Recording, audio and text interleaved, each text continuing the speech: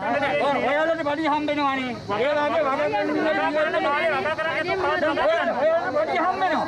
දැන් මේකට මේකට මොන හම්බෙන්නේ? නිරෝධාන නීතියට ගොවියට එන්න බෑ. ඉතින් ටික කොම්පැනි වලට දෙනවා. දැන් කොම්පැනි වලට දෙන්න මයින්ඩ් පුළුවන්. ගොවින්ට ප්‍රදේශව ලේකම්වරයා හමුවට යාමට පොලිසිය ඉඩ නොදීමත් සමග මෙම උණුසුම් තත්ත්වය තිබුණා. ගොවින්ගේ ඉල්ලීම වූවේ මහකන්නේ වගාවන් සඳහා බිම් සකස් කිරීමට තම ඉඩම් මැනුම් කටයුතු සිදුකර වෙන් කර දෙන ලෙසයි.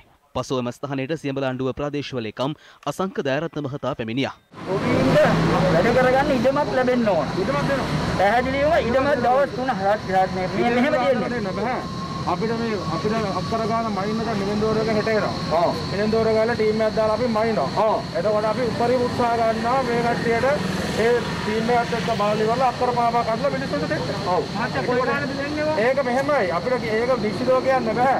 මේක මේ දුන්න එහෙම මාත්‍යව එකට කරන්න බෑ. ඒ එහෙම නේ නේ. දැන් මේක මිලින්දෝර එකට බාර දීලා තියෙනවා. මිලින්දෝර එක හෙට ඉඳන් වැඩ පටන් ගන්නවා. උපරිම අවම කාල සීමාවක් තුල මේ ටික බෙදලා ඉවර කරනවා. අපි රට ඉන්නේ ඇත්තටම ඇත්තම කියනවා ඇත්තම වැඩම නැහැ. ඇත්තටම වේදනයි ඇත්තම මාත්‍ය. ඉවසීමෙන් කතා හෙට හෙට දවසේ පුළුවන් නෙවෙයි, හෙට පටන් ගන්නවා. ඉතින් මාස ගානක් යනවා. අක්කර දවස් ගානක් අරගෙන එනකොට මාස ගානක් යනවා.